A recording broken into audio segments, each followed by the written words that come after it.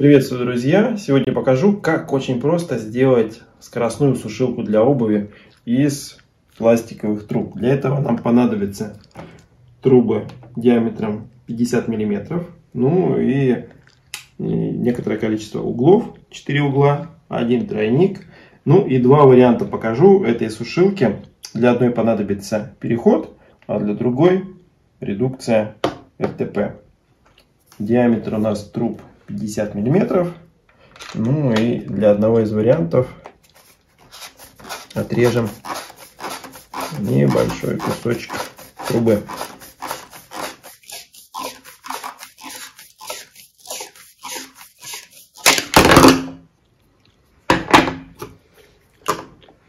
Есть.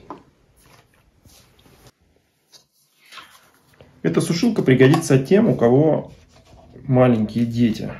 Потому что даже если у вас есть несколько пар осенней, весенней обуви, то они очень часто бывают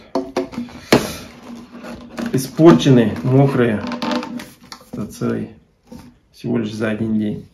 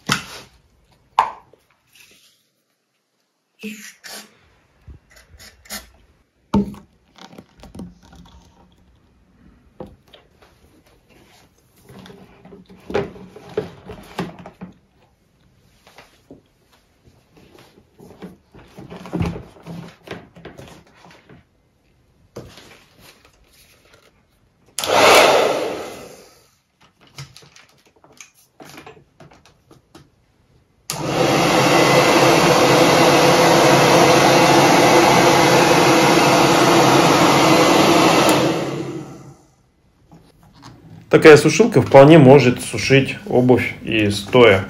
Там более компактный вариант. Например, вот так.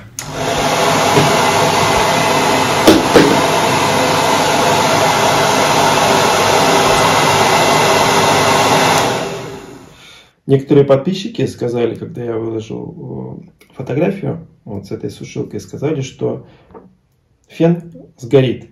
Ну, не знаю, мы пользуемся уже какое-то время таким способом. Ни один фен не сгорел, потому что там э, нет тупика, то есть воздух он выходит, там мотор не перегревается. Но если есть такое опасение, то можно конструкцию сделать по-другому. Нам понадобится уже не переход, нам понадобится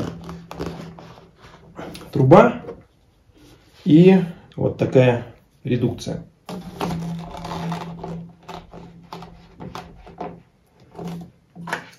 Для этой редукции ну, я купил за 100 рублей вентилятор охлаждения, кулер, который стоит вот в компьютерах, например.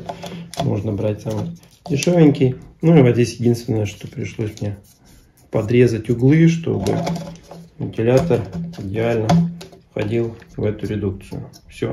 Понятно, что здесь будет воздух уже холодный, а не теплый, не горячий, как из фена. Но, тем не менее, он будет сушить. То есть вот таким образом можно будет подсушить обувь. Ну, безопаснее, можно сказать так, но помедленнее, чем с феном.